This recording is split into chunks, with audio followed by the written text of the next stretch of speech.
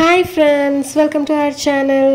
ఈరోజు మనము ఈ వీడియోలో అప్పటికప్పుడు చేసుకునే నిమ్మకాయ ఊరగాయ ఎలా తయారు చేసుకోవాలో చూద్దాము. మా వీడియోస్ కనుక మీకు నచ్చినట్టయితే లైక్ చేయండి షేర్ చేయండి సబ్స్క్రైబ్ చేసుకోండి. సబ్స్క్రైబ్ పక్కన ఉన్న బెల్ ఐకాన్ని క్లిక్ చేయండి. మేము పెట్టిన వీడియోస్ మీకు వెంటనే నోటిఫికేషన్ వచ్చేస్తుంది. హాయ్ ఫ్రెండ్స్ నమస్తే అండి.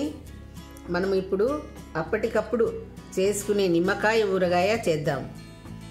మామూలుగా నిమ్మకాయ ఊరగాయ ఊరాలంటే ఇరవై రోజులు కానీ నెల రోజులు కానీ పడుతుంది. మనకు ఒక్కొక్కసారి అర్జెంటుగా ఊరగాయ కావలసి వస్తుంది.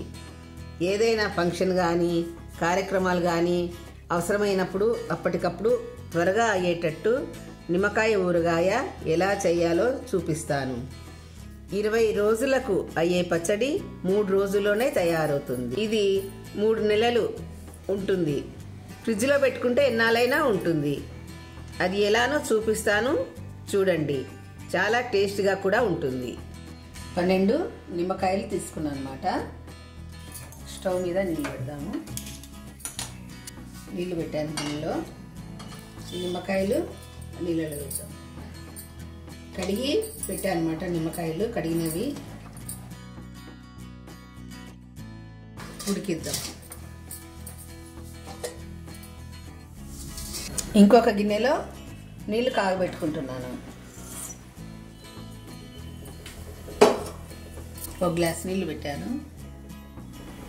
ఈ గ్లాస్ నీళ్ళు మరిగినాయి. స్టవ్ ఆఫ్ చేస్తున్నాను. చల్లారి పెట్టేద్దాం ఈ నీళ్ళు ఈ నిమ్మకాయలు చూద్దాం. అప్పుడప్పుడు అట్లా కలుపుతుండాలి. అలా. ఒక చూపిద్దాం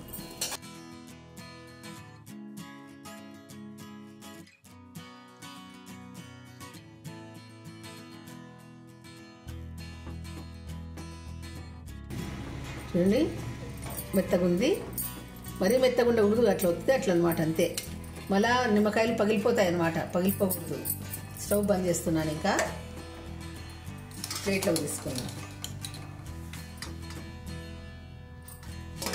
చూడండి. అట్లా అట్లా అంతే అంతే. మరీ మెత్తగా అయిపోకూడదు. అంటే ఇట్లా చీలకలు చీలిపోతాయి అనమాట ఇంకా చిల్లానికి వస్తున్నాయి. తీసేసిన అనమాట ఇలా మళ్ళీ చీలితే అంతా పులుపు అంతా నీళ్ళలో వచ్చేస్తుంది మళ్ళీ.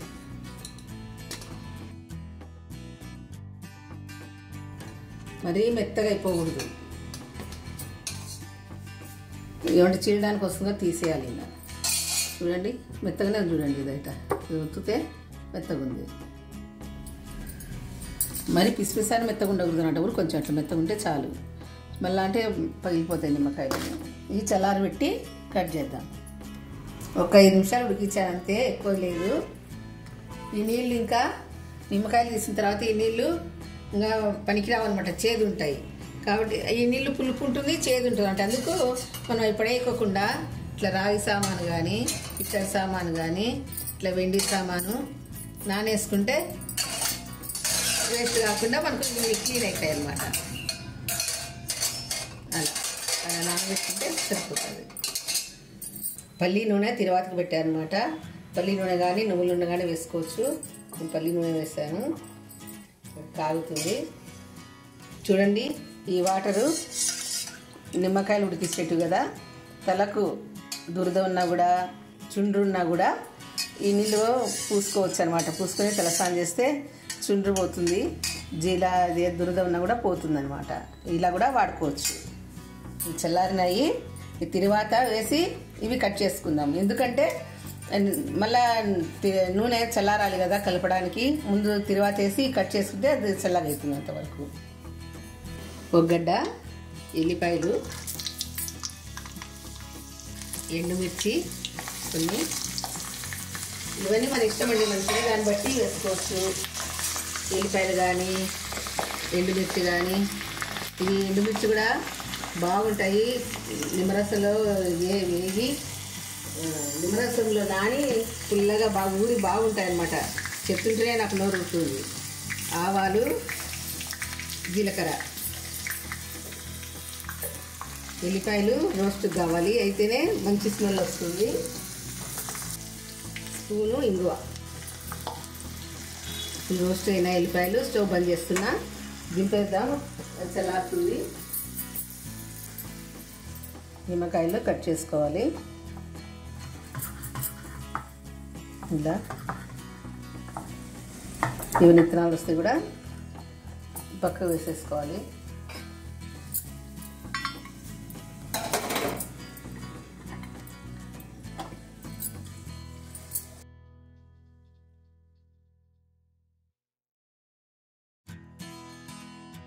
ఉడికినాయి కాబట్టి రసం బయటకు వస్తాయి అన్నమాట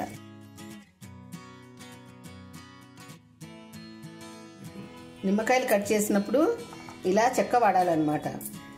నిమ్మరసం కింద పోదు. అంతా ప్లేట్లోనే పడుతుంది. అలా. మామూలుగా కట్ చేసే రసం అంతా కారిపోతుంది అనమాట మామూలుగా ఉడికించేటివే కాదు. మామూలు నిమ్మకాయలైనా ఇట్లా చెక్క పెట్టుకుంటే ప్లేట్ మీద కానీ గిన్నె మీద కానీ రసం అంతా దాంట్లోనే పడుతుంది. ఈ కప్పుతో కొలత వేస్తున్నాను. మనం నిమ్మకాయలు బట్టి పెద్ద కప్పులు చిన్న కప్పులు అటు తీసుకోవచ్చు. దండి అనుకో గిన్నెలు తీసుకోవచ్చు. నేను కొంచెం కాబట్టి కప్పు తీసుకున్నా.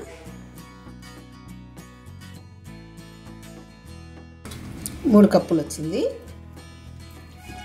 ఇది మూడు కప్పులు కనమాట కొలత.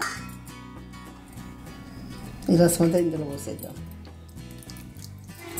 ఉప్పు ఒక కప్పు. కారం ఒక కప్పు.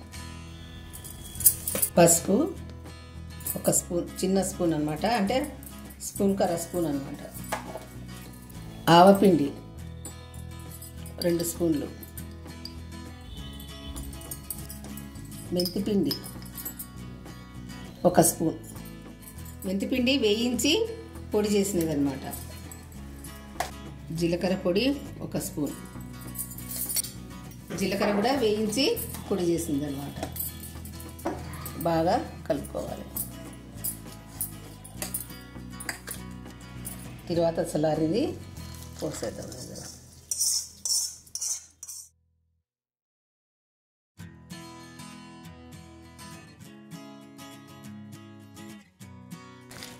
మనం ఇళ్ళల్లో ఇట్లా పెట్టుకుంటాము.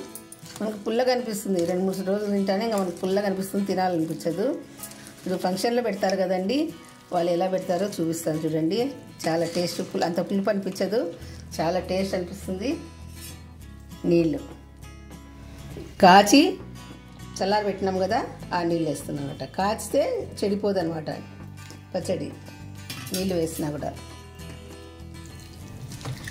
ఇప్పుడు చల్లార్చి కాచి చల్లార్చి పోసుకోవాలి. అప్పుడు మనకు లిక్విడ్గా వస్తుంది. ఫంక్షన్లో పెడతారు చూడ కదండి పచ్చడి అట్లుంటుంది.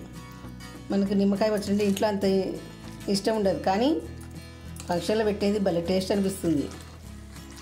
వాళ్ళు ఇట్లా కలుపుతారనమాట లిక్విడ్గా. నీళ్ళు వేస్తారు కొంచెం.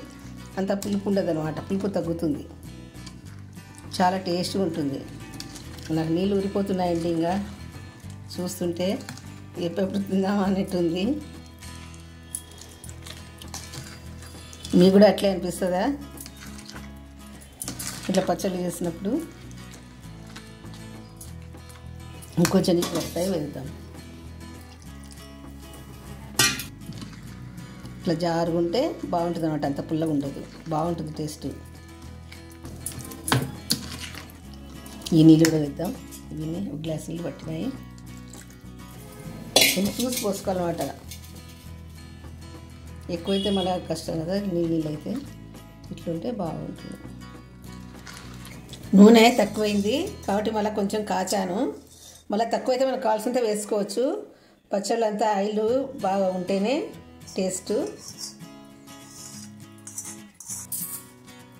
అంత మళ్ళీ బాగా కలుపుదాం. రెడీ అయిందండి ఊరగాయ. ఒక రెండు రోజులు ఊరిస్తే బాగుంటుంది మూడో రోజు తినచ్చు. మామూలుగా అయితే ఇది ఇరవై రోజులు ఇలా కానీ ఊరదు. ఇప్పుడు మూడో రోజే తినచ్చు అనమాట ఇది అన్నంలో కానీ ఉప్మా అట్లా టిఫిన్స్లో కూడా బాగుంటుందన్నమాట. టేస్ట్ బాగుంటుంది. మీరు కూడా ట్రై చేయండి.